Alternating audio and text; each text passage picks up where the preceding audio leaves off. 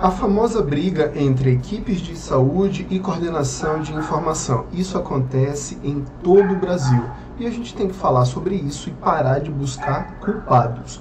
Meu nome é Jamerson Ferreira, sou consultor e criador de conteúdo digital para o canal Descomplicando Saúde Coletiva. Nesse vídeo a gente vai abordar 10 pontos para compreender essa situação, buscar soluções e implementar possibilidades para o seu município. Se isso acontece com você, seja muito bem-vindo. Outra coisa, Seja bem-vindo ao nosso canal, faça sua inscrição, esse vídeo ele é para você, secretário ou secretária de saúde, coordenador de atenção básica, coordenador de vigilância, coordenador e técnico do setor de informação e profissionais de saúde, porque são todos os atores que estão envolvidos nessa relação super delicada de disputa muitas vezes de poder e de não entendimentos entre é, quem faz a assistência e quem gerencia e acompanha esse processo de fluxos de informações. Então seja muito bem-vindo que a gente vai discutir sobre isso em apenas 10 pontos. Fique conosco até o final. Bom, a primeira coisa é entender e discutir o seguinte: a quem pertence a informação em saúde? Esse talvez seja um dos pontos muito sensíveis que gera a não compreensão do processo. Se a gente entender a gestão como algo integral, a gestão ela tem a, a, o seu cenário no processo de tomada de decisão, na, no planejamento, na avaliação, no acompanhamento de processos. No entanto, a gestão se baseia em dados. Esses dados são oriundos do processo de trabalho das equipes de saúde, que a partir do fazer delas geram registros. Esses registros podem ocorrer em, de modo físico, em papel, ou de modo virtual ou digital, em sistemas de informação. Esses sistemas de informação transformam registros em dados. A partir do armazenamento e processamento desses dados, vão ser gerados relatórios. Esses relatórios vão servir para analisar aquilo que está ocorrendo com o seu município. E isso vai ocorrer na atenção primária, na vigilância em saúde, nas vigilâncias, que é no plural, na atenção primária, na média e na, na alta complexidade. Qual é o grande problema? a ideia de que a informação ela é uma posse de uma determinada pessoa ou de um determinado grupo. E isso, infelizmente, ainda tem espelho tanto na gestão estadual e na gestão federal. Achar que os donos da informação existem infelizmente, ainda se usa esse teórico, essa teórica posse da informação para uma disputa de poder. Quem detém a informação detém poder. Bom, infelizmente isso acontece. Se a gente entender que todo município é avaliado, os donos da informação são todos os atores envolvidos e não somente um setor ou outro. É muito importante que a gente comece a pensar que o município em si ele é avaliado e o gestor ou gestora municipal responde em última instância. Então, por que pensar que a, o setor de tecnologia da informação é dono da informação? Ou a vigilância em saúde seria dona da informação, sendo que quem produz esses resultados são as equipes da assistência, que geralmente estão na atenção básica, estão na média ou na alta complexidade. Então é importante a gente pensar em desconstruir a ideia de que algum setor é dono ou dona da informação. A informação ela é do município, ela é do estado, ela é do ministério, tá bom? Segundo ponto. Como está o fluxo das informações no seu município? Cada município tem o seu circuito de informações e tem uh, os seus entraves, as, as suas estratégias. Se eu trabalho com fichas, as informações elas são produzidas pelos profissionais de saúde, que podem ser agentes comunitários de saúde, agentes de endemia, enfermeiros, técnicos auxiliares de enfermagem, cirurgiões dentistas, auxiliares e técnicos de saúde bucal, equipe multiprofissional, equipe do NASF, consultório na rua, EAPS, uh, Polo Academia de Saúde. Existem várias possibilidades de que essas informações elas sejam produzidas. De acordo com a forma de registro, que pode ser em papel ou digital, ela vai seguir caminhos que podem ser mais curtos ou mais longos. Se a informação ela for digital, ela, o trajeto dela é muito menor, porque você está interagindo ou com o celular, com o tablet, com o computador, na frente do usuário, e essa interação é transformada em registro e enviada para a Secretaria de Saúde e posteriormente para o Ministério da Saúde. Em alguns casos, existem fluxos também para o Estado. Quando esse fluxo ele passa por muitas etapas, geralmente acontece com os registros que são feitos em meio físico, os registros em papel, pode ser que a informação ela pode vir a atrasar, ela pode conter falhas, ruídos, pode perder qualidade porque tem mais pessoas e mais etapas para que ela seja trabalhada, processada, para que mais pessoas, que ela dependa de mais pessoas para fluir. Então, por exemplo, um município que ainda trabalha com o CDS na atenção primária, que é o Sistema de Coleta de Dados Simplificado, que depende da ficha para registrar, de alguém para digitar, e esse alguém pode estar na unidade de saúde ou na secretaria, e, esse, e vai ter outro alguém na secretaria de saúde para receber esses dados e ainda uh, uh, processá-los em um arquivo só para depois enviar. Então, são muitas etapas. Quando existem muitas pessoas e muitas etapas nesse fluxo da informação, essa informação ela pode perder qualidade. Então é importante que a gente entenda que muitas etapas podem gerar vários gargalos. Então, às vezes, uma das soluções é pensar em diminuir esse trajeto, diminuir essa quantidade de etapas que essa informação é processada. Terceiro, você já avaliou as necessidades de apoio?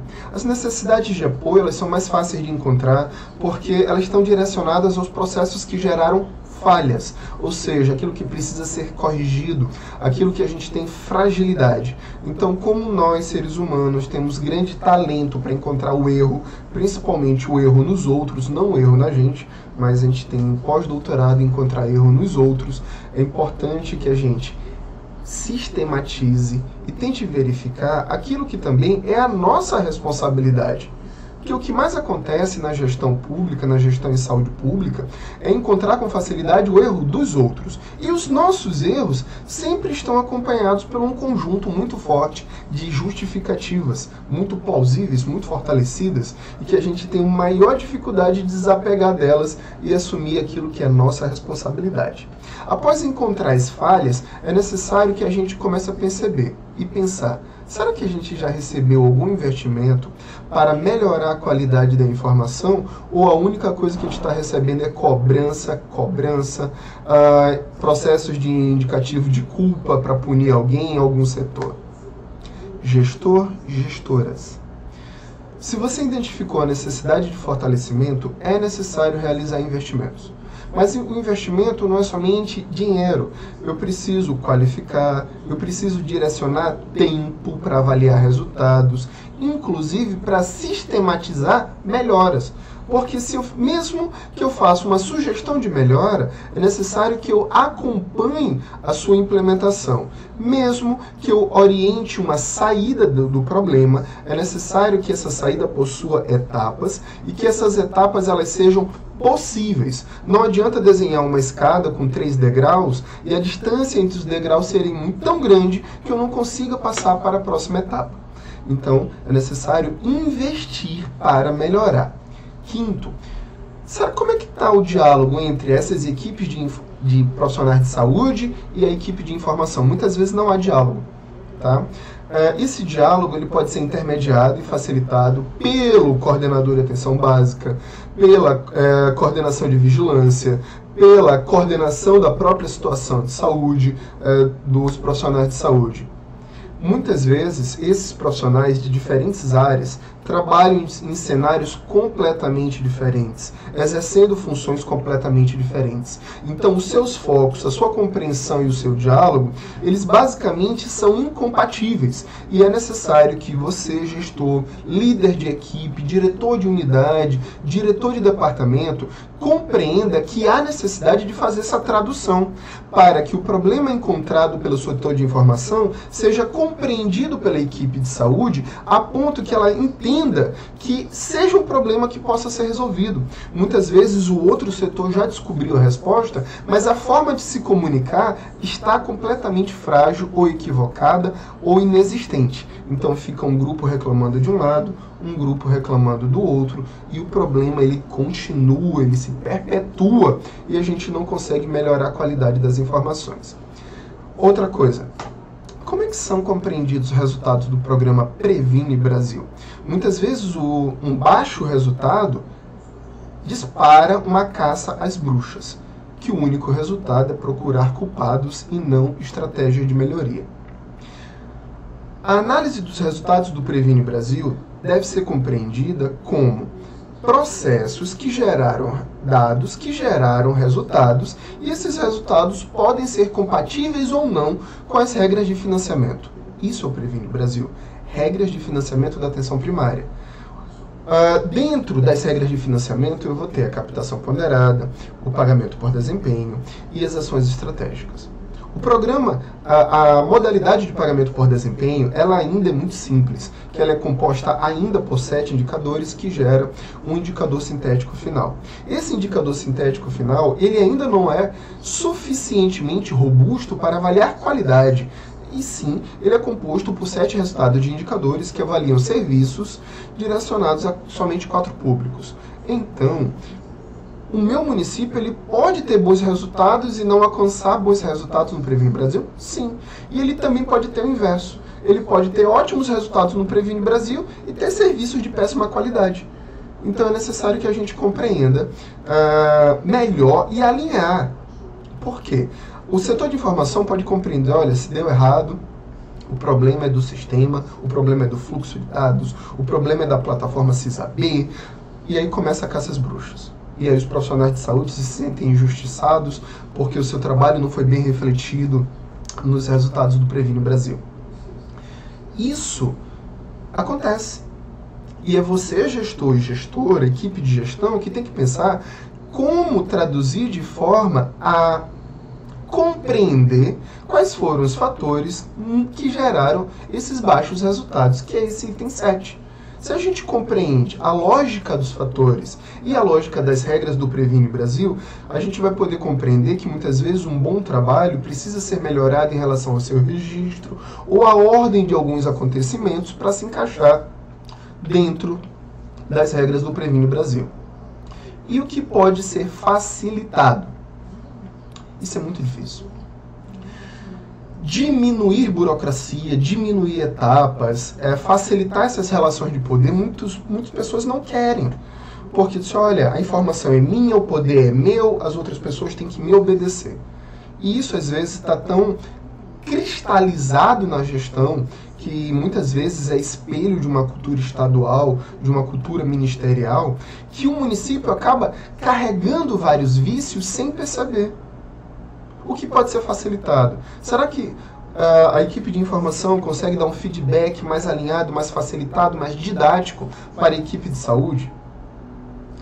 Porque a linguagem é diferente. Quem é que vai facilitar isso? Será que eu consigo ter reuniões de feedback e que sejam reuniões de feedback saudáveis? Sem ser uma reunião de troca de acusações, dizendo, olha, a culpa é sua, a culpa é do outro. O que pode ser aprendido? A gente só consegue aprender após a crítica, entendendo as fragilidades, as potencialidades, as responsabilidades de cada um, os compromissos assumidos e aquilo que pode ser mudado. Então, muitas vezes, é necessário a gente se perguntar: será o que eu estou fazendo está certo?